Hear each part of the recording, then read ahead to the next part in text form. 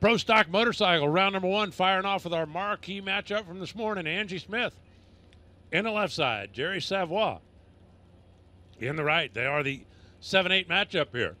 And Angie rolling in out of North Carolina. She is riding for the folks at Denso, and we are here at the Denso NHRA Sonoma Nationals. Lisa's here, the big bosses are here. Wants a little showing off. Jerry Savoie rolling in from Louisiana. You saw his alligator socks this morning. He's like, look, we're just going to put the bite on everybody. That's the plan. Well, he rolled into Bristol, and the plan worked perfectly. He has definitely got himself a tough draw here in round number one. I'll say the same for Angie. I mean, Jerry, a former champion in the category.